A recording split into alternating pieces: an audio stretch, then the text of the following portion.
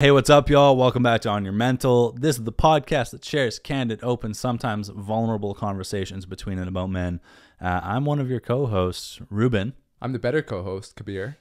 arguably. Uh, this episode is one of two parts featuring Jeff Yu. Jeff Yu's been on the podcast before. He's got three degrees. One of them happens to be in uh, philosophy, and that's what we're getting into today with the meaning and purpose of life. I'm not going to say much more. I'm going to jump right into it. If you like this one, leave likes, comment, subscribe if you haven't already, and uh, if you want to see part two sooner. we Tell them want on the 50 line. 50 likes. That's all it takes. And you get part two next week. If it's not 50 likes, then it's uh, 10,000 for me to shave an eyebrow. That's another thing we could do. That's not to happen. Anyways, we hope you all enjoy this part. Uh, we'll see you in a second when it starts. Peace.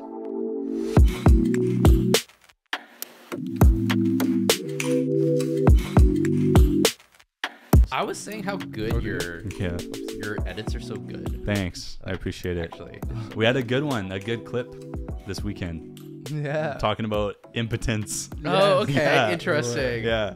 Like uh like sex drive stuff. Right, I think that was the last one. I didn't watch that one because Mhm. it wasn't super relevant to what we were doing today. fair. Um, but that was a I mean, people like that one. Three hundred thousand. Ooh, You've been like well dethroned, by the way. I know that I saw the six hundred thousand. Right? The, Yeah, the, there's one the, of them. Yeah, the- the boys in the game. one, yeah. I'm Oh, still the second. Yeah. I'm still second though. You're second to gaming. I know. I see that. I was like, oh, this is such a boys. Me- it is on your mental. I Mm-hmm. get it. I get it.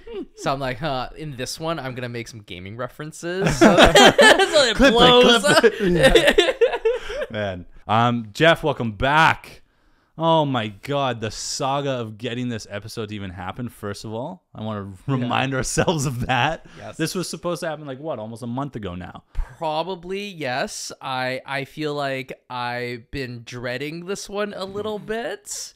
Just, That's why I put it off. Yeah, I put it off a little bit. I mean, other things were going on, obviously, but it's one of those.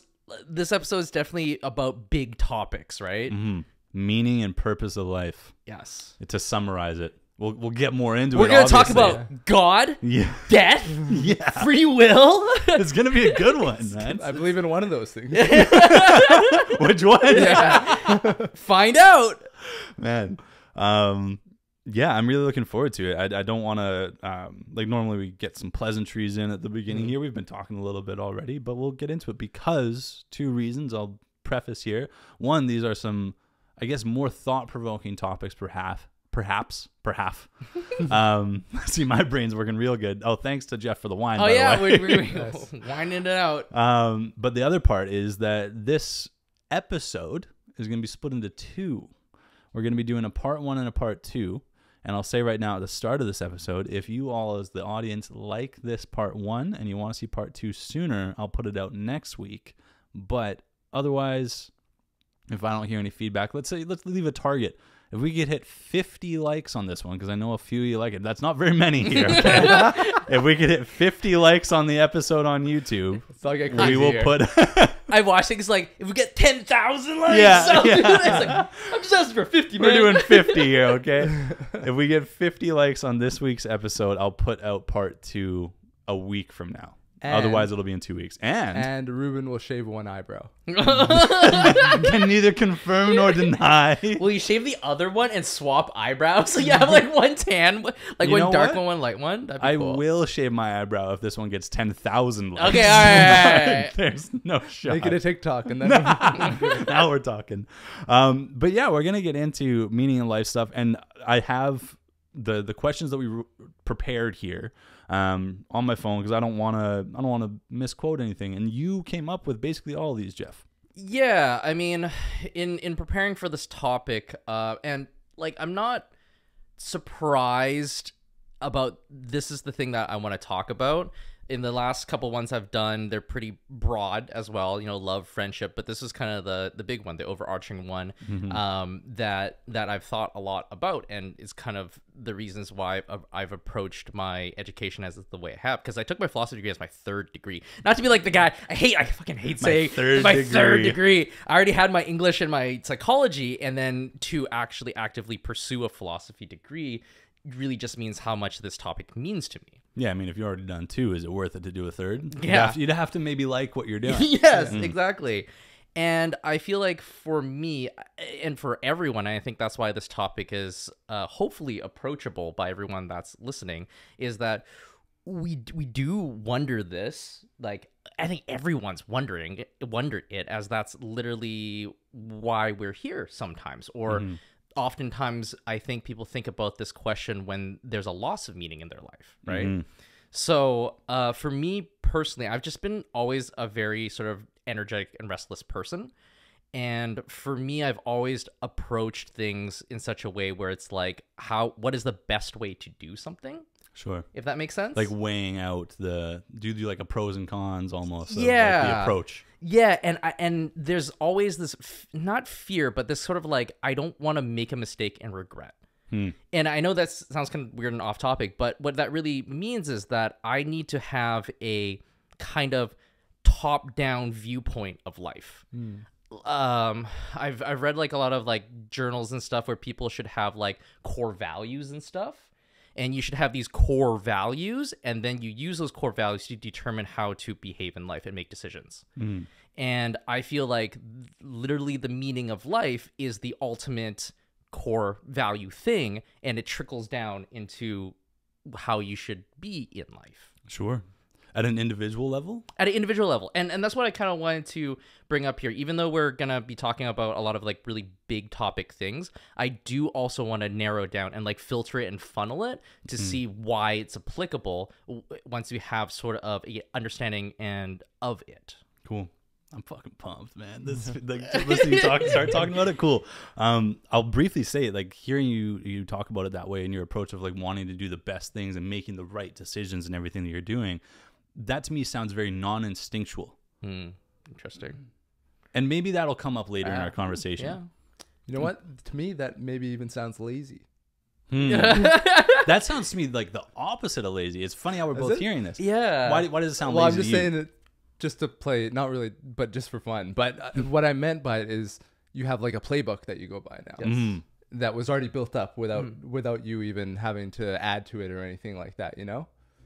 So you're not really having. There, I feel like there's less struggle. but that's the point Yes. because yes the, the You're template matching your approach yes, to things. Fine, yes. maybe it's not lazy. yeah, yeah maybe, it's like maybe it's smart. thanks guy to me, it's like he built this up. That Yes. that was the part that was like not lazy to me. Is that you're like calculating It- everything.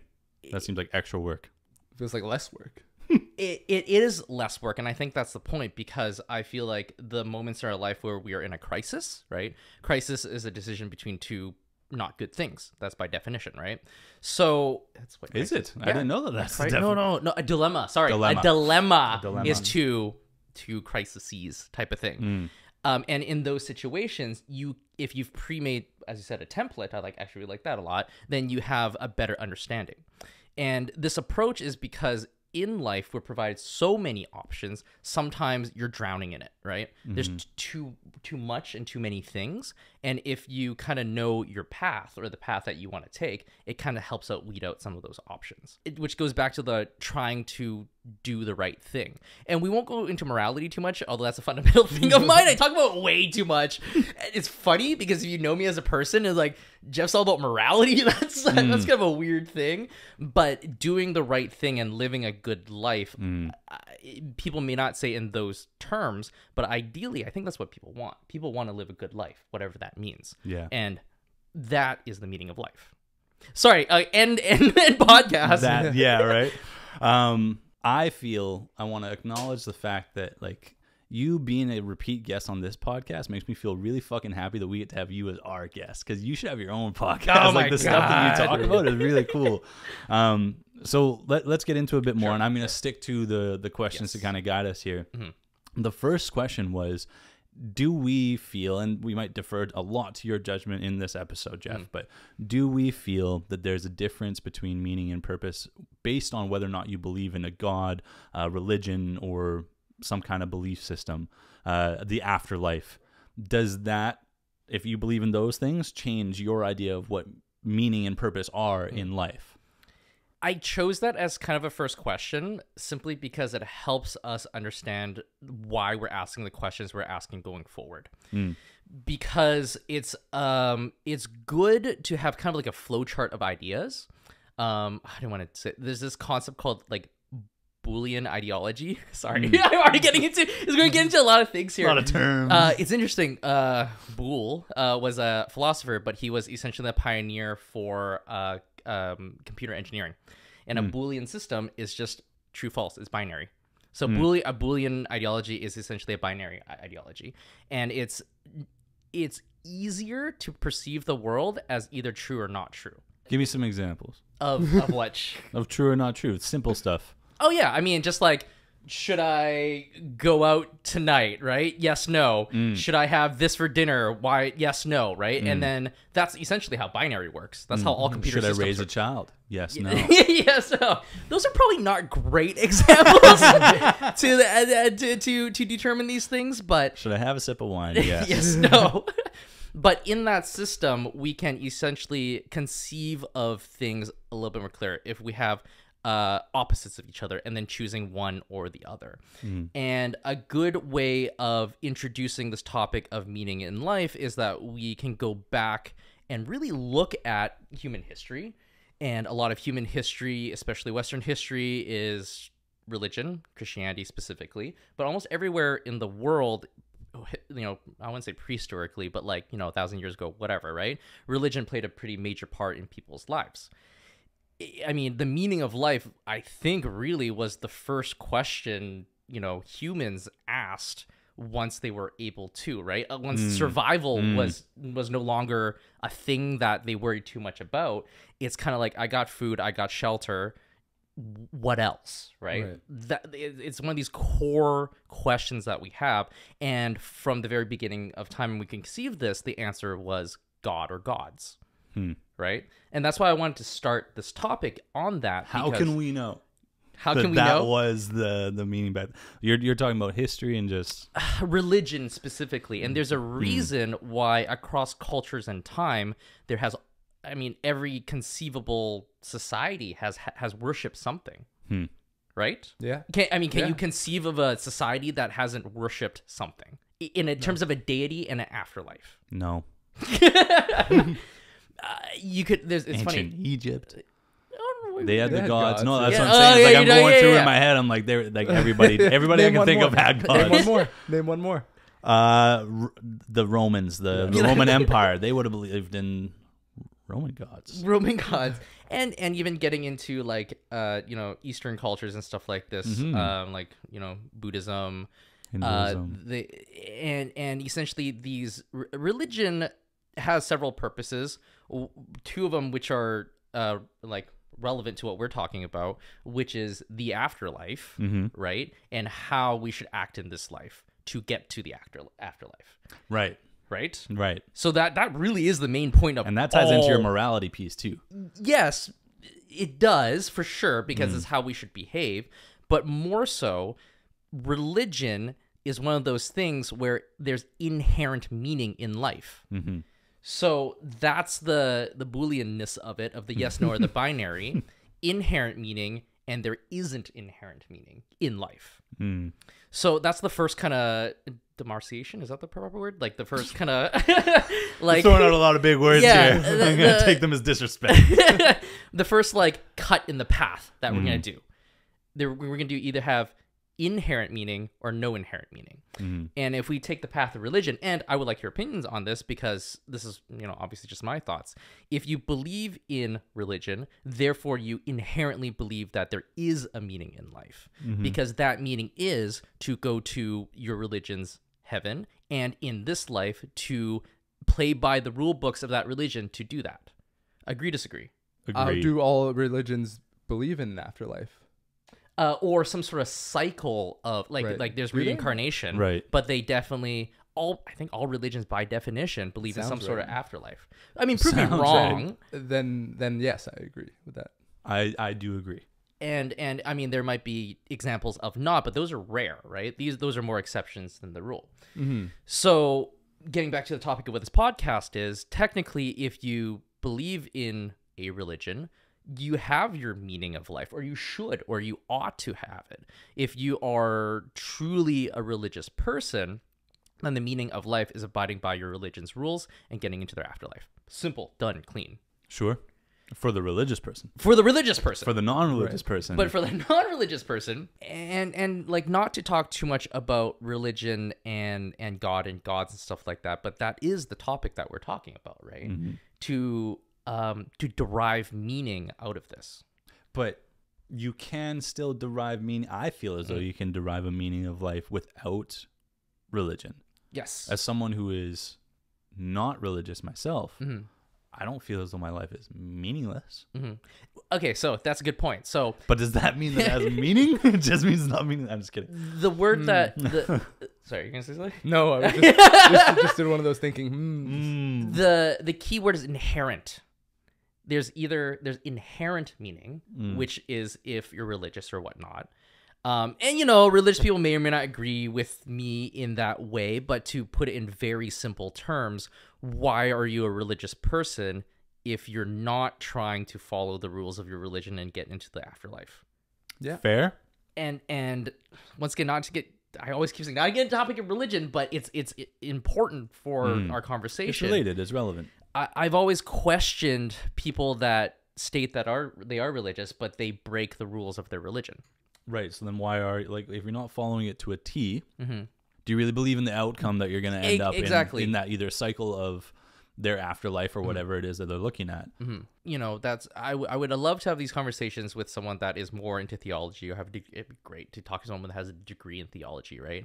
Um, but that's not the point of this conversation specifically because for those that don't have a religion or follow their religion religiously, is that Mhm. then then that begs the question: What is existence without inherent meaning? Mm. Right? Which Why is, do anything at all? why do anything at all if there's no afterlife and there's no rule book? Mm-hmm. And that's scary, Mm-hmm. right? That's that's a really Because I think scary. it's really easy to, like, if if you went down that rabbit hole, to say I don't need to do anything. There's no point in me being good to other people. There's no point in me trying. There's no point in me looking out for my fellow man, if you will. You know, like th- Mm. there's no point in me getting up every day and, and going to a job. Why does it matter? you might as well not just you know end it. and yet it- we're here. and yet we're here. And uh, Jean Paul Sartre, which is a More very, fucking. This guy's very- making up names. I'm not Jean Paul Sartre. Sorry. French. Uh, you guys read The Outsiders in high school? Yeah, yeah. Yeah, yeah. Jean Paul Sartre. That's the book that kind of made him famous. Okay. But he Oh, was a key figure in existentialism. Hmm. And you remember the main character in his book, blah blah blah. He was like Pony it- boy. Pony boy. My- uh, no, Yeah. maybe it was it? that is. po- It is right. Pony boy. Isn't it? That was his I don't know. nickname or whatever. Stay golden, Pony boy. Yeah, yeah. Okay. Is that the Outsiders? That is the It is outsiders. Outsiders. And they made the movie with uh John Cusack. Isn't he in there? No, he's not. we don't need to know the details of the book. okay, That's not okay, the point. okay, okay, okay. Sorry. Um, Why do anything at all? But, yeah, but why why live at all? And he, I'm, you know, I'm not gonna cite it, but he writes very interesting essays about. Yeah, he has was like, yeah, why not just end your life? And he makes pretty good points as to not to not do Yeah. so. Um, but he also wrote a very interesting piece on uh, is how how existing is horrifying Hmm. because of the choice because we are born into this world without our consent. Have you Hmm. heard of that term? Mm-hmm. This is the first I'm hearing of it. Sure. I, I've like I've I've heard uh, people speak about like um when, when- when people get into arguments, let's say like with their parents or Yeah, something yeah, like I that. didn't choose to be and born. like I exactly I, I didn't, didn't choose ask- to be born. yeah. I didn't Yes, ask to be born. I didn't ask to fucking be here. Yes. Right. It, it's like that kind of idea It- because it's true. yeah. You didn't. You were just here. You we were got born. thrown into this terrifying world and part of that terror is this not knowing this this this inherently meaningless life That comes along with having a conscience. yes that comes along with that. And and the horrifying part is because we are given so many choices and we don't know what to do. Uh, he even goes through this whole process of like forlornness which is such a nice word. When you're forlorn you like don't know what to do because you don't want to choose the right choice right? Mm. that type of thing. Um but that is essentially uh th- he calls it the existentialism as a humanism that's literally the title of his like big thing Hmm. but essentially how what it means to be human is to be thrown into this existence and not be given anything to decipher how we're supposed to lead it. because people we, we don't have answers. Mm-hmm. We continue to ask this question all the time, right? Like, what is the the meaning? of it? But but there's I my standpoint, and I doubt that you would sway me, is because I I just don't believe it to be true. Is that there is no overarching common belief amongst every human on the planet as to what the meaning of life is. You could argue that's different for purpose because I believe that there is a consistent purpose, which is just to reproduce and then to make sure that the human race lives on and mm-hmm. continues and that your offspring can live a happy life. Mm-hmm. But meaning, mm-hmm. I I refuse, and I shouldn't say refuse. I'm unlikely to agree that there would be a consistent meaning amongst everybody. It's just not possible to me. Okay, so that's the difference between there isn't and there ought not. Mm. And since we're approaching these topics from the top down perspective, it's always comes from the ideal to the real. And that's how I perceive things. So even though you don't believe there is one, should there be one? Could there be one? Is- So you're saying it's not a possibility. I feel like there could be one. right. There just currently isn't one. I could. I've, you look like you're gonna. no you no want to say you're, something. you're saying there could be a meaning I feel like there. There could be a meaning, universal like it's not Oh, just meaning, but universal universal a universal Right. meaning shared amongst people. we're just we just haven't found it out yet I don't think I think that there are obstacles in the way, and this is I don't want to derail the conversation, so I'll bring it back. But I want to say this: mm-hmm. I I, think that if there were a world Mm-hmm. where there was one religion, everybody has the same meaning. Mm-hmm. If there was a world where mm-hmm. there was no religion, we could all figure out what the fuck our meaning is without religion, without believing in something that's not here. but that's the point, right? We don't live in that world, Okay. and so that's why, to me, I don't believe that that's possible in the current state of our world.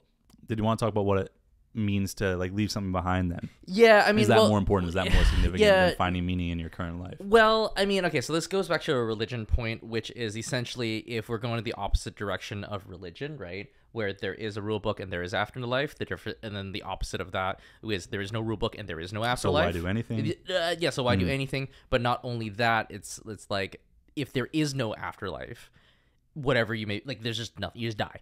That's it, right? Then it fundamentally matters. More importantly, what we leave behind, Mm. right? Mm. Thinking Okay. noises. because if there is an afterlife there is um how do i say this there is some this is a, because there's an afterlife there's something after yeah right i understand what you're so saying. so to a degree the the thing that matters is what you do in this lifetime because there's no There's- anything else afterwards to do. There's no there's no need for a legacy. Th- there's uh we can get we can get into that and we'll we'll pick that apart a little bit. You didn't read the questions did you But I'm really glad you brought that point up because there's gonna we're gonna have a small discussion about what could be the meaning of life, and that's a, that's a fun one. I really get your opinions on things because you clearly um, have, have not previously thought about it. That comes up towards the end of this Yeah. this first part, so we'll get there. Um, so yeah, the question you had essentially was Does it matter more what you leave behind? And I think fundamentally yes, because that's we, we only get one chance. We only get one shot, Hmm. and if you choose to continue living, because that's the thing that people don't well, not people don't understand, but people don't think about. Life is a choice. Life is the choice, right? Hmm. Like talking about existentialism, born without our concern, consent, and born um, with all these decisions. The first, the biggest decision is to continue or not, and people do Yeah. whether you realize it or not, every day, every moment is you making a choice, which helps a little bit in terms of the horrifying aspect of existence. but you're not really getting to that decision until later into mm, like like teen younger teen years because you're not even thinking about that right Yeah, but every technically every person has the ability to make that choice. Obviously, you don't think. I mean, I mean, I mean. but that unfortunately, what i Mm. the reason why i brought that Mm. up is because let's say you start thinking about that question or those thoughts start coming up let's say when you're 13 Mm. by that time you're already in the rhythm or routine of Mhm. living life Mhm. so then it's more it's easier i would say to live your life than Mhm. to start thinking about that decision or to cut it off True, and I guess that isn't really the the question. Isn't the easiness of it? It's just the ability. mm. it's more it's not the actual we're not really going to go through those motions naturally unless something tragic happens or you know mental health right. reasons but i'm simply stating as human beings we have a choice Yeah. right not the circumstances of Yeah. that choice Yeah. um, and I and I and I feel like when I conceive of that, that helps me out a little bit. That makes the world a little bit less horrifying. Where Hmm. hey, you know what? At the end of the day, I'm choosing to be here. What's the next step? And that's Kind of ultimately grounds you a little. it grounds you a little bit, right? Because you are a little bit more in control. And that's what all these decisions are ultimately is just a little bit more of control in this very chaotic world that we live in. Mm-hmm. Yeah. So we're saying a few things. I'm going to try and like recap that's what good. what we've said so far here.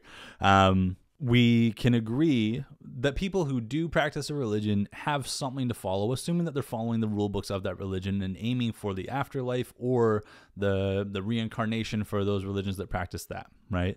We can agree that people with religion have a clear meaning available to them. It's an option if they wanted to. point. Because we also pointed out the fact that people that are religious don't necessarily always follow that to a T.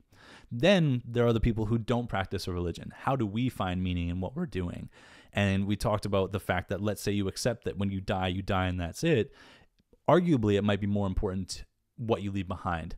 But we didn't really finish that up. So I'll maybe mm. come to that in a second. But then what I want us to start getting into after we wrap that little piece up is what makes us human then is what you're saying. Yeah, it seems like a big jump, but I really want to mm. relate it to what you said previously about how you didn't believe it was we either have or even maybe possible for us to be united in meaning Mm-hmm. if if we didn't have religion if there was no religions which is a very interesting concept but what i want to bring up is this is not a big concept we're all humans Mm-hmm.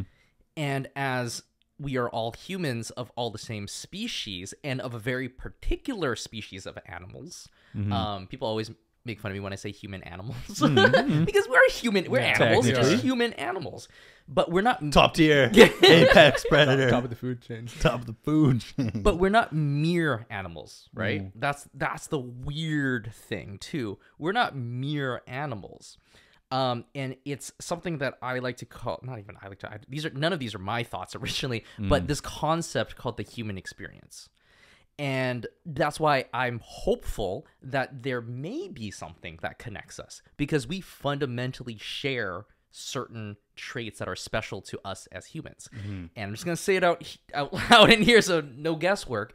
Fundamentally, there's this concept called post humanism. We'll start there. Uh, we'll start with post humanism and work our way to humanism. And post humanism is a very interesting topic, but ultimately it's using technologies usually to defy two major aspects of what makes us human, which will define us. The first one is mortality. Mm. And not only that, we are the few species that know we're going to die and can think about our own deaths. Mm. So our mortality makes us human. That's like some Greek tragedy shit there, right? That that fundamentally humans have known that for thousands of years. What makes us human is our mortality, and that's what separates us from the gods or whatever, right? Um, and talking about post-humanism um, and getting to technology, which is you know interest to many people, right? People have thought, how can I use technology to extend my life? Download your brains into computers and stuff like that, right? And the other thing um, is it's it's kind of a weird concept, but I'll try to describe it. Um, because we're conscious people, we have ourself, right? We have our thoughts, and we can never fully express ourself to anybody else. Language is a inadequate tool to do so Mm-hmm. and there's no system that's possible for me to know exactly what you're thinking. So we have these we have ourself and we're unable to express it. And that's weird, Mm-hmm. right? And and post-humanism, interestingly enough, would be a Can I concept. add something yeah, there? please, please. Yeah, think it- about where are these your like, thoughts on thinking- these two my, my, my thinking of that is um, yes, language is limiting in that sense. If you wanted to describe who you are at your very core, there's no way you could. Right, I, I I couldn't imagine trying to summarize in any amount of sentences like who I am at, at, at my being and why I think the way I think and decisions the decisions that I make are the decisions that I make. But then I'm imagining like a I don't know like a like a pack of meerkats You know what I mean? Like they like you see them like all perk up and they all look at the same thing at the same time. You know they're all thinking the same thing. Like Right. they're, their brains are wired the same way. They're Right. they're not as they they are mere animals. Yes. To use, oh yeah, I like that. I like how you use meerkats and use mere animals. to use your your Yeah, word and also yeah, meerkats. yeah, oh it just happened to be what I picked. Brilliant. But that that is like a differentiating thing um, between us. We we don't all react to things the same way. We don't all care about the same things. We don't all worry about the same things. We don't decide the same things. right. Even the three of us in this room would approach a problem differently, Mm-hmm. you know, and that is part of, I guess, what makes us human. human, right? And this human experience, right? And once again, the post-humanist thought is if I'll just keep using the download our brains into a computer system, we uh the reason so much of humanity is what it is is because we use language to a degree to try to compromise and come to a conclusion of two different opinions. That's every conversation, every argument. Sure. And using that system, we're trying to find the answers. I don't know to Mm. the system to find the answer. Because if we were to download two brains into a computer system and mind meld them, we would have one that would be able to argue against itself and come to the, Right. the conclusion, right? Like two people having different opinions. Mm-hmm. Uh, ideally, we would come to a conclusion that both can agree on. Right. So, something to understand is that perfection isn't something that's possible in actuality. Hmm. Perfection, as we understand it, is a concept and cannot, by definition, be in reality. Sure. So, the example I'll use, there's actually a term for this is called telos, which is a Greek term by Aristotle. And the telos of something is the the the perfect version of something or the sorry, the ultimate purpose of something. And the perfect thing will do the ultimate purpose something. And the example mm. he uses is like scissors, right? You can imagine a pair of scissors, its job is to cut things. Mm-hmm. You can imagine the perfect pair of scissors. You can imagine it Oh, baby. but is it in actuality right mm-hmm. Th- to a degree things are mere reflections of the perfect ideal of something and us as humans though we may not be and by almost definition cannot be perfect we should ideally try to go for these things mm-hmm. right? From from the ideal to the real. So sorry let me bring it back. So we just kind of got a little bit off topic here mm. but Posthumanism. post-humanism the second part of the post-humanism the first part being mortality the second part being Im- imperfect self-expression we'll call it that if we were to mind meld every human being on earth mm-hmm. we would become this one being that would have the perfect opinion about something. Sure. Because it's can- taking into account yes. every everything opinion. every opinion. And then just like how you because you're alone in here you can make a decision imagine if there was two voices talking all the time. And you know do it to some degree to yourself but you know there are definitely people you meet in the world where it feels like you never find a common ground. Mm-hmm. Imagine if that was there.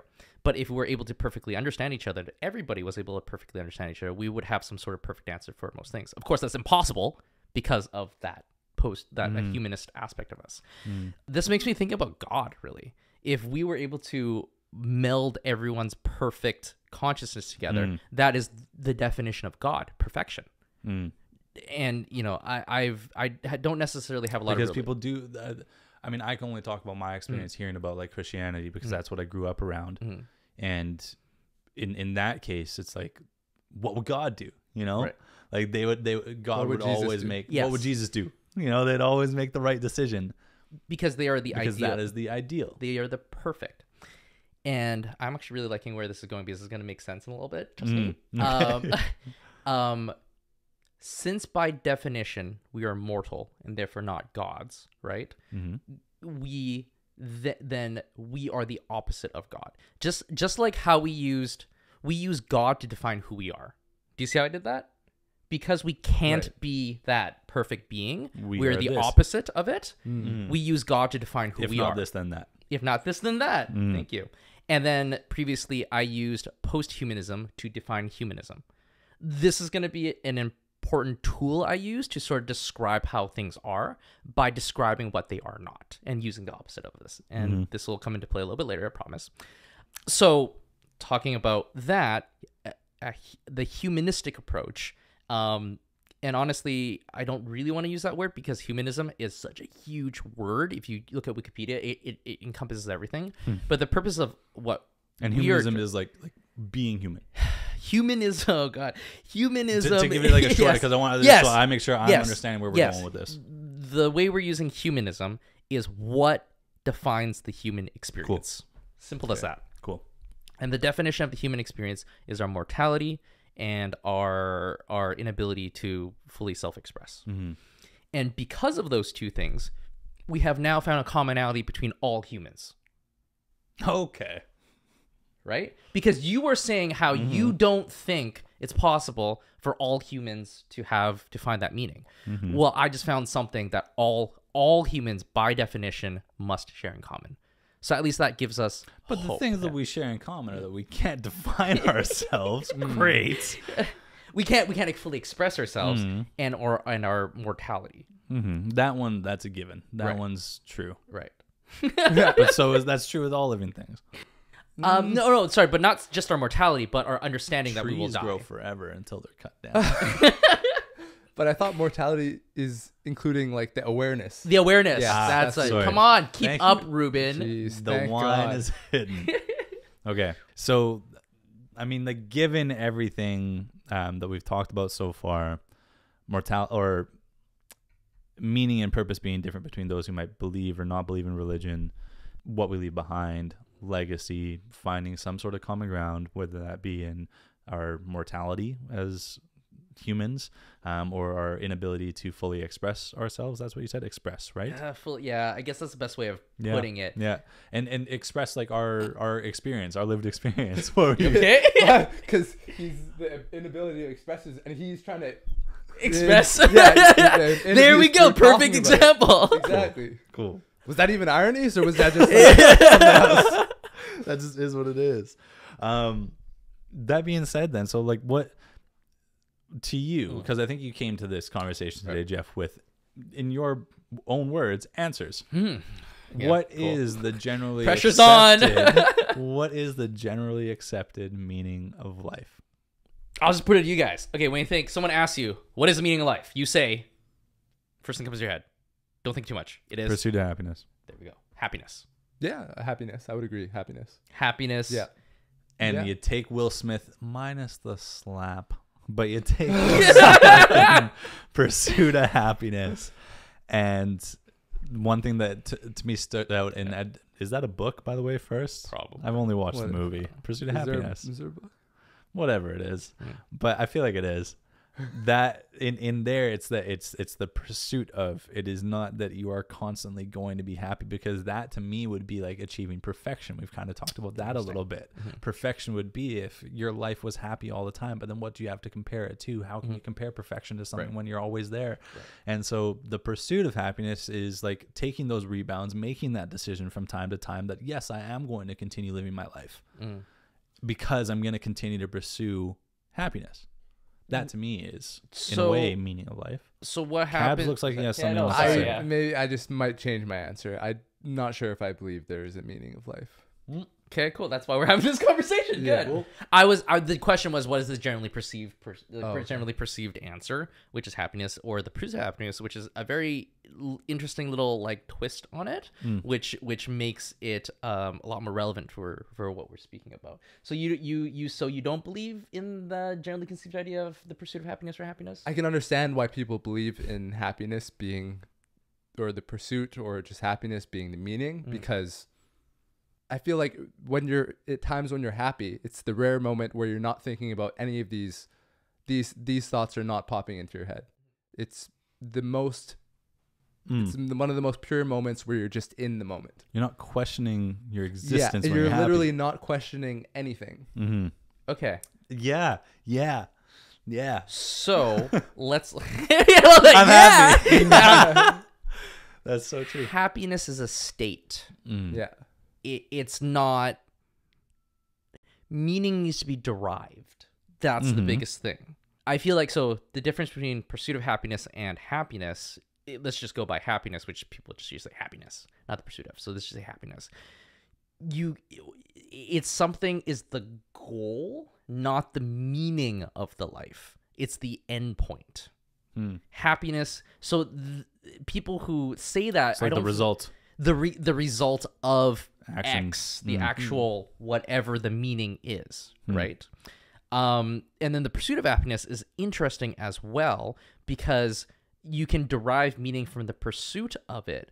But I feel happiness as the end goal is is incorrect to say Right. the least. I, Hmm. I understand that. Because I, I feel like maybe the more correct thing would be to say to experience happy happiness throughout your life as much as you can and then end up having a more fulfilled life right. Mm. because you've been Like happy, that's now the result. Now you brought happiness into the meaning. right Mm. but but the meaning itself and what meaning derives from is not happiness right Mm.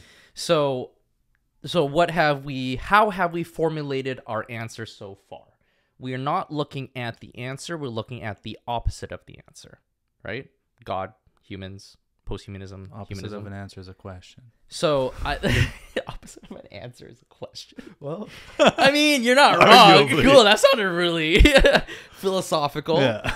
um, and I'm just gonna throw something in here, just just for my just just humor me with my Mm. philosophy, my degree, and this is the things I've Mm. learned. And um, a lot of philosophy in particular, it's like there's all these crazy ideas. How are we? How can we actually ever know anything?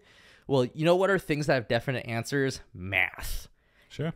we use a system of logic, which is a system of mathematics, to make arguments. So there's a branch of philosophy called logic, and it's essentially math with arguments, and it sucks, and I hate it. I'm not a logician. That's the if this then that. yeah, if the exactly, I'm so glad you said things like that. Mm. So you can conceive of something as A. Anything can be A, and the opposite of A is not A. Hmm. But A also equals not not A. right Stupid. Does that make sense? Yeah, Because 'cause math, that makes yeah. sense, i understand that because of math yeah, because of math logic. And let's apply this all of a sudden. So if we want to figure out, oh my god, we're doing algebra. Hope we all enjoy. oh god. So if we can, s- if we want the meaning of life is A, and we already know based on our conversation that happiness is not A, mm-hmm. therefore the opposite of happiness, which is not not A, equals A. And that's my does that does that make sense to yes, everyone? I get it. I mean, like on paper, Yes, that makes on sense. paper. On paper, that Yeah, makes sense. yeah, yeah. So here's here's the big here.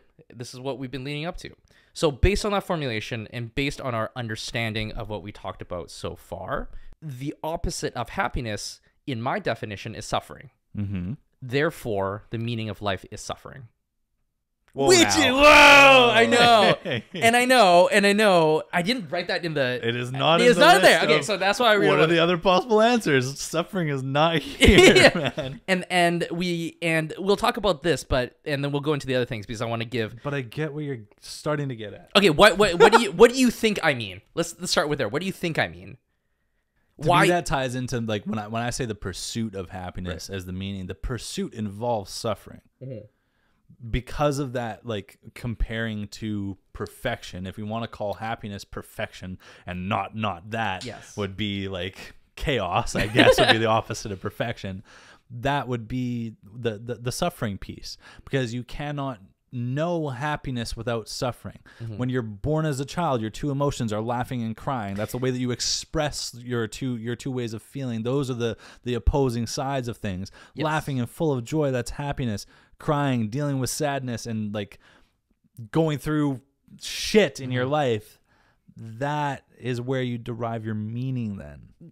like the squinty I'm like I'm fucking thinking. I man. like that, but I want to remove happiness from the equation just entirely. entirely. Uh, the reason I want to do that is because, from my understanding, we'll get into a little bit more. Happiness isn't something to be pursued. Happiness is the result of living a good life. So, by simply doing that, happiness will come. And more often than not, and from even psychological studies, it's the people who try to pursue happiness that are the most unhappy Mm. it's the people who live the good life. I mean, like this is literally proven. The people that are the happiness are people who volunteer right? Those those type of people that give their time and they're not I'm going to I'm going to volunteer to make me happy. No, they're in pursuit of doing something for someone else to a degree Altruism. uh, altruism to a degree. Um, but I want to remove happiness from the equation because I don't think it's meaningful to this conversation. The meaning of life is not happiness by its definition that we just said. It is suffering, and I'll get into that. But what what are your thoughts based on what I say? Based on the suffering? based on my conclusion, a Right. logical conclusion as to what is suffering. What are Yeah, your go and- to hell. what are your thoughts on that? Does does it feel wrong? I feel like for a lot of people, it feels wrong. It feels wrong to say that the meaning of life Mm-hmm. is suffering. Yes, that definitely. That feels wrong. does That feel- wrong, yeah. That sounds absurd. That sounds Why? up. first thought. Because then I'm thinking about it that the meaning of life is to literally struggle and suffer throughout your life. That's what I'm getting from it. Okay, cool. Thank you for that. because I also want to make another split here in terms of of meaning.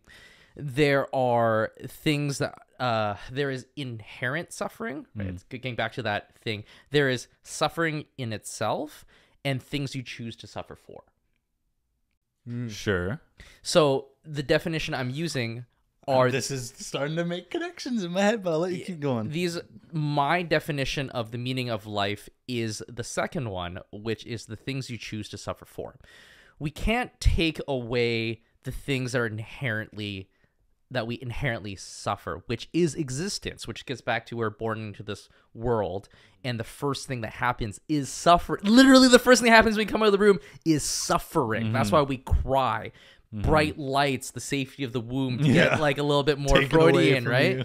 Yeah. Mm, because the the the pain, right? Life is, and not to get like this seems a little, but like like seems like oh life sucks, but but but, like it's in actuality, you're born, you cry, things are way too intense. It's funny. I have two nephews, and like I've seen them have like little tantrums and stuff, and I like didn't really get it until someone said to me, "This is literally the first time they've ever experienced this." Mm, They have never experienced not getting a blueberry when they wanted it right. they don't know how to react. right. And every new thing of suffering is is relevant that way and and unavoidable, Mm-hmm. right? But there are things you can choose to suffer for. And therefore therefore I think you should derive your meaning through the things that you want to suffer for. The choice. And that gets back to this choice thing, right? There's so many choices. What do we choose? Why not choose the things that we're willing to suffer for or want to suffer for? And I'll just and this gets this is really abstract right now. I get it. It's really abstract. And the the the um the example I always like to use is education. Mm-hmm. Very little people do education for pleasure solely, Mm-hmm. right? For happiness, but they're willing willfully suffering to better themselves I get what you're saying. and that's where you should derive the meaning. The Mm-hmm. meaning of life is derived on the things you choose to suffer for. You can even like look at it, like uh, we we talk about it so many times on the podcast stuff around fitness and like physical health, right? Physical wellness. You can choose to suffer by going to the gym five times a week, choosing it to to restrict what you're eating in order to meet certain calorie goals or macro goals, whatever it's going to be. That's a choice Mm-hmm.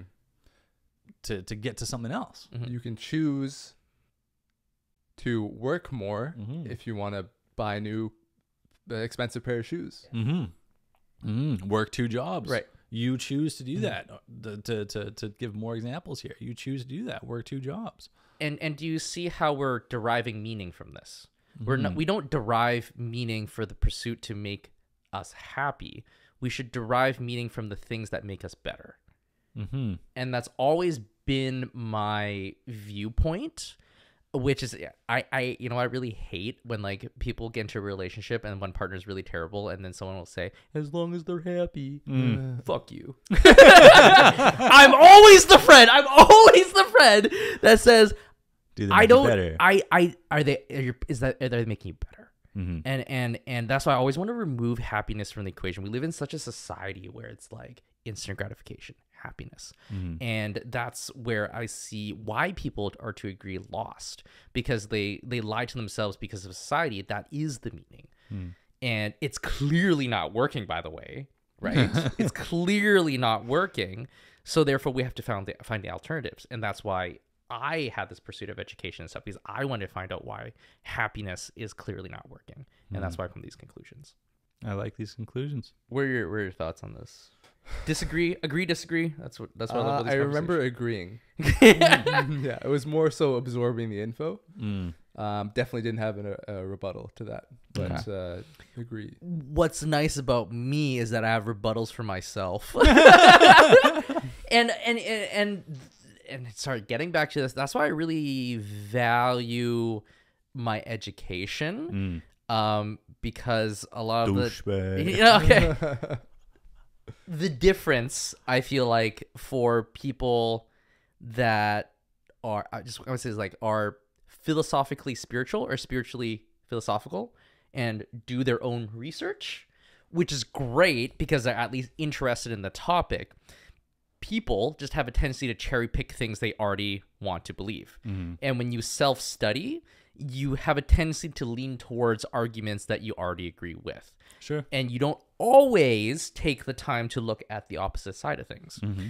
And once again, that's why I've so much appreciated my formal education is we were forced to look at the other side. Right. The stuff that you wouldn't agree with otherwise. Exactly. And not only that, oftentimes we had to write a paper and make the argument hmm. against yourself. Hmm. So that's co- the constant battle that I have. Every time I think I'm right, I try to think of every way I'm wrong. Hmm. And if I can't think of any ma- way any more ways I am wrong, then that seems to be the answer.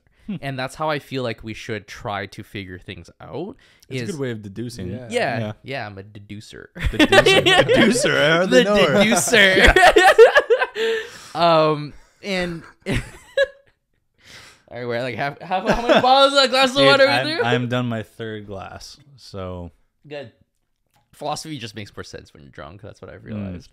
But that's why I I'm once again gratitude towards the time and effort I've spent towards things, and Mm-hmm. I'm a better person for it because I'm I have changed my mind on things that I've felt strongly about, and that's why there's that demarciation, which is Mm. I really hope I'm using that word right because it'll sound so dumb if not between um desire inclination versus logic right because people just have this gut feeling people just go for the gut feeling that comes back to me saying that you don't sound very instinctual.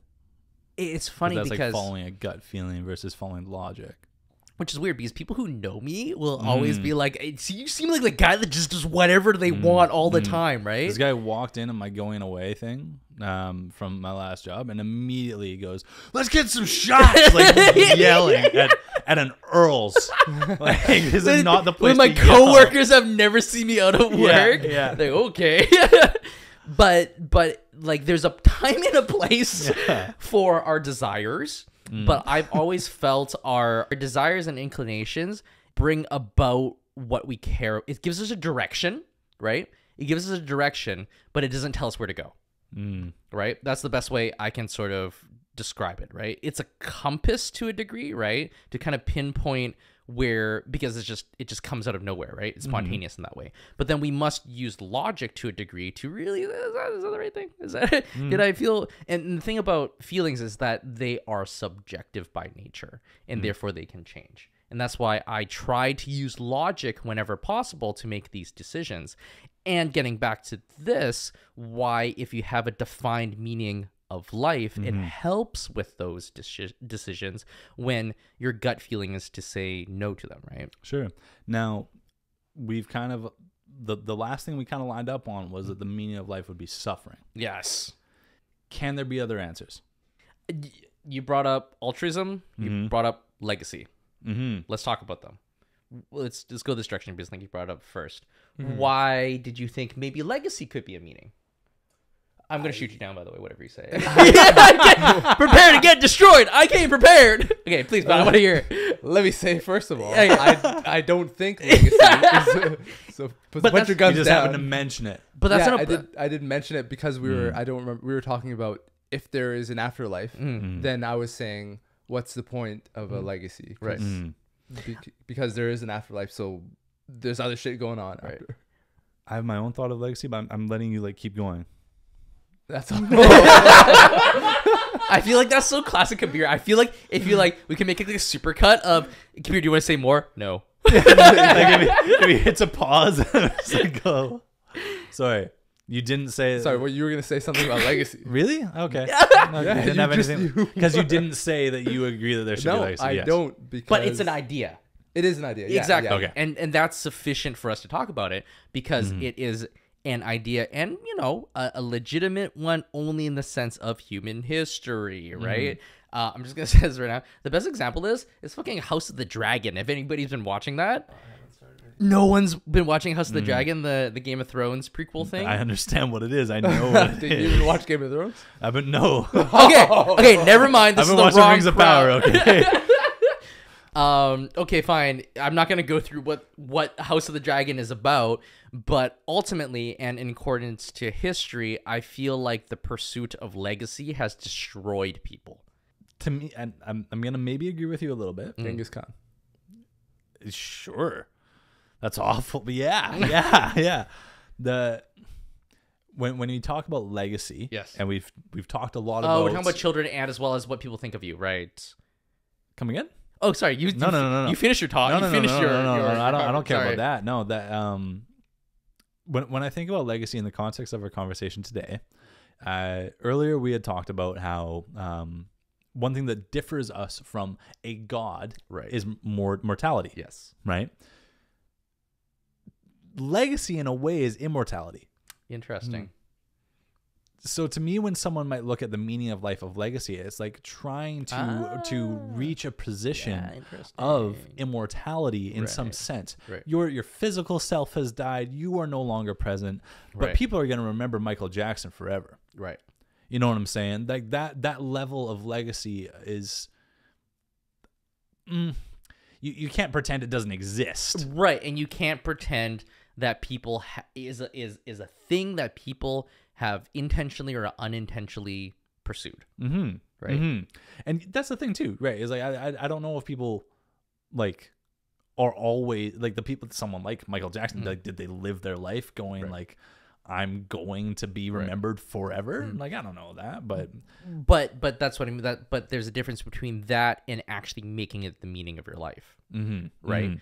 Like the meaning of life, of legacy, right? Like that that's a different conversation. And then that's when you're saying like when people pursue that, that destroys them. Yes. Um, I really like the point where you mentioned how legacy is a form of immortality. Um, I've always, uh, by the way, I really didn't get to talk about it while we're talking about posthumanism, but I am adamantly against posthumanism. Hmm. It's really interesting. We live in such a society where technology is such a big thing, and this idea of like cyborg selves and all that type of stuff is such a cool idea, hmm. but I'm like abhorrently against it. And w- my idea of that is simply because once we come become post-human, we're no longer human. Hmm. And I feel like any attempts humanity has ever tried or will try to not be human will always end in failure and destruction and horrifying consequences. It's the flying too close to the sun thing. Sure. Once humans try not to be humans, shit's something bad's going to happen. That makes a lot of sense. Mm-hmm. the example I've used, and it was one of my philosophy papers. I made an argument about not wanting to go to heaven. Hmm. Um, because when you go, like, you know, when you go to heaven, you become an angel. Like, that was the premise, hmm. right? I'm using a very general, plain speaking way of this conception of what heaven is. Or at the very least, you become the perfect version of yourself. Mm-hmm. But once you become an, an angel or an enlightened being, you are no longer yourself. You're no hmm. longer human. Mm-hmm. You've transcended that by definition. And I don't think I would ever it it's a form of death. Hmm. Right? So by definition, we're unable to ever do that. So the pursuit of post- We as the human hum- the human are race unable to ever do that. Yes. And to a degree You have to die. you have to die in some way in order to do that. Even if you become a cyborg, right? Mm-hmm. To a degree, we're no longer who we are, right? Mm-hmm. Um, so much of the human experiences are physical bodies, right? Oh man, that remind. Can I go off topic a little bit? Do you remember? Always. Remember that? Uh, what was that? Uh, Netflix. Black Mirror. Uh, there's another one. It's uh, uh, this. Altered ac- carbon. there we go. Altered carbon. Thank you. Um, Takeshi Kovacs. Altered Carbon, and there was that in the second season, which was not good. Um, yeah, terrible. Oh, was it the first thing? Um, anyways, they were they were like showing off weird things at this party, and it was like sleeving into another animal, right? Putting human brain into a snake To- body. Very quick context, sleeving was the idea that you upload your consciousness into this disc, and that disc can be uploaded into like other bodies, other physical cells later. That was the whole idea of altered carbon. For those of you who haven't, which is a huge post-human idea, Yeah. right? Where you know our consciousness type of thing, and so much of our understanding of the world is because of our human bodies and our human limitations to a degree, right? Mm-hmm. So I I always feel like whenever there's this talk about post about becoming an angel, becoming enlightened, becoming a cyborg, you are you're not you. Mm-hmm. By definition, you're no longer you, and that's a form of death. So that plays back into the whole mortality thing. So immortality, right? So Mm-hmm. anytime we try to be anything but mortal, we go against being human. being human. Fair enough. So, I, but I really like that point of of this concept of immortality because Mm-hmm. humans are this weird things that want to persist after they die. For yeah, whatever yeah. reason. Legacy is our way of doing that. right. But once again, it's ultimately wrong for the reasons I've said. Now, the mm, like th- I feel like there is some some some positive in that. Like, yes, the pursuit of legacy is something that might destroy you, but the the consequence of you living a good life sometimes is legacy. You know what I mean? Like you you can you can think about your grandparents. You know what I mean? Like I I have very fond memories of my grandma. Like I didn't know her for very much of my life, but I, I have very fond memories of my grandma. Like that to me is a positive legacy that I'll know. Right? That's not necessarily something the world knows, but I'll know my life and my existence is different because of how I respect my grandmother. yes, You know what I mean? Yes, and and and that's why I always need to bring this back to the topic of the conversation, which is the meaning of life. I'm just gonna say this: the meaning of life for your grandma wasn't so that my grandson thought I No, was awesome. no, right? no, and that's yeah, yeah. and that's what I mean. Where Cool. her legacy was the Was not the result was not the meaning. It was the result of living a good life. True. My, my me saying that is Yes. not to say that legacy would be the meaning, but Yeah. legacy is still a good thing. Yes, is a good consequence of living a good exactly and that's why i feel like we always need to refocus we need to refocus because Yeah. people mix up the meaning of life versus the consequences of Mm-hmm. those things Now, if it's okay, I want to keep us Yes. steered here for a second. We'll really quickly touch on my other answer that I talked about earlier, which was altruism. yes Altruism would be doing things for other people, making other people's lives better or easier while you're here. That's that's For no like your- benefit. For no benefit. That's the big Oh, point. For no benefit. Ah, yeah altruism is for no benefit even if the benefit is in itself, like you you feel happier doing that. true and there's the argument that alt- real altruism cannot exist for humanity Yeah. because feeling good for doing something for no benefit is the benefit Yes. we can go into that No. And and that's why ultimately Mm. I don't really believe in altruism just from that statement. I can I can sh- almost shoot down that argument based on that in itself. That makes sense. Um, That it's impossible. It's not. sense. It's not. You know why it's not humanly possible? It's because we are ultimately selfish beings. Mm-hmm.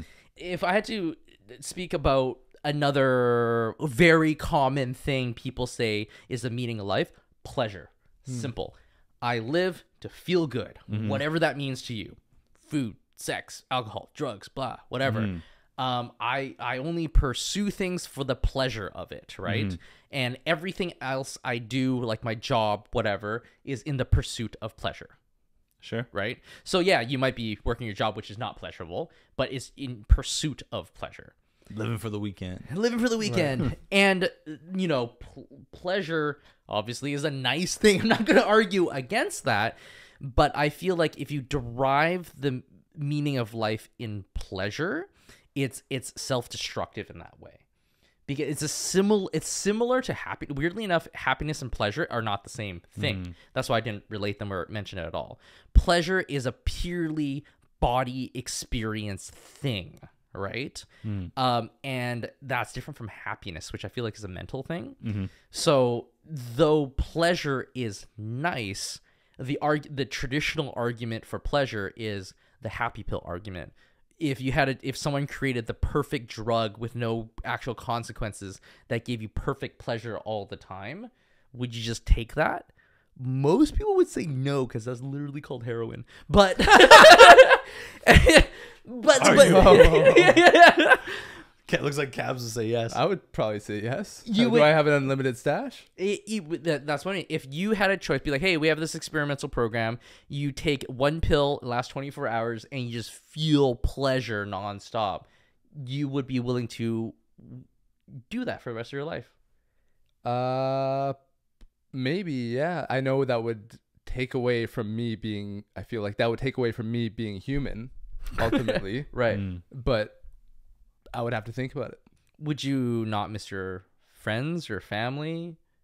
Oh, okay. So this would mean Because you're in perfect I- pleasure. I'm in perfect pleasure, so I don't. You just There's sit no- there and you have yeah, no yeah, there's no- to do yeah, there's anything instinct else. to do anything no, else. because that's the point. That Why would is- there be an instinct? You're perfectly sated in your pleasure, That's a good fucking scenario. right? That uh, they call Is that anybody else hard right now? MDMA. it's the uh, closest you get. it's the closest you get, but you like you the know, if there was consequences are awful. even even if there were no consequences even if there were no consequences i'd very much i mean as a thought experiment people may say yes but given the very real option i don't think people would because you might as well end your life there's hmm. nothing else right Because if now you're taking that thing, Mhm. What else is there to live what for? else is there What are you continuing on for? What's Mm. next? If tomorrow's going to be the same thing for the rest of your life, you're done. it's You perfection won. it's that perfection Right. that we can't and shouldn't have as imperfect beings Mm, we And- shouldn't have. Yeah, yes Mm. that makes sense. or, or nor do we really honestly desire. We always think we desire something until we actually get it. Imperfection's cool. Yeah, imperfection's cool. I, I'm down for that. Mm. Um, so that that's my argument for it. And like, these are very the things I've talked about specifically, like hedonism, right? Hedonism is that concept of living for pleasure. And there, if if anybody listening wants to do their own research, there's tons of actual philosophical arguments against hedonism, right? We're just doing a very basic version of it. Yeah. I mean, every we've talked about so much. Thanks for listening to me rant. I love it, and it's. uh I haven't done this for a few This has episodes. been trying pleasurable. this has been pleasurable. I haven't done this for a few episodes, which is try and like actually summarize everything that we've talked about. I've kind of just let things end, um, but I'll try and summarize because I think it's more relevant now because we're about to start a part two. We're gonna continue to sit here, and for all of you, our our audience, uh, this is the end of this episode coming up in a moment here. 50 likes. 50 likes. That's all- if we that's get all 50 he's likes asking. on the YouTube episode, Eyebrow. We will no that's 10,000 likes.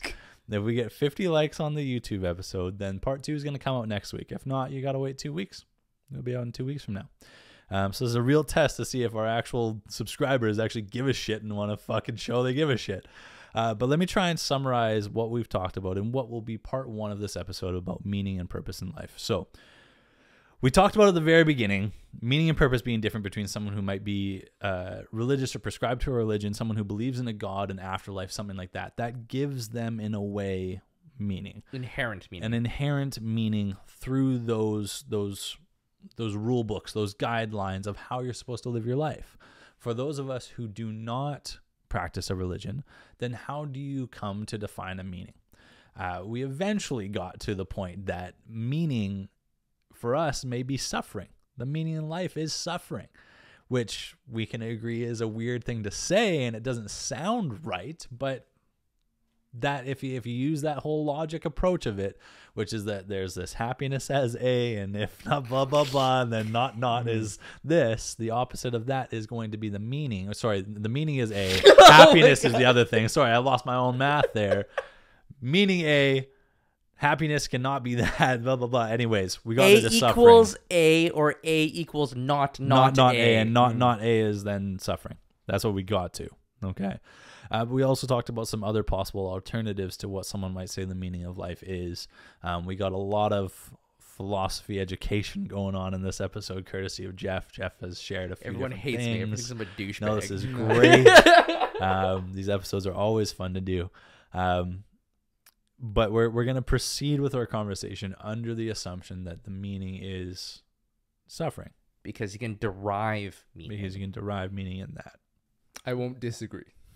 You won't Cool. disagree. You're not convinced yet. N- Well, yes. Not convinced. Cool. Not convinced. Not but you very, very, very briefly talked about selfishness, Yes.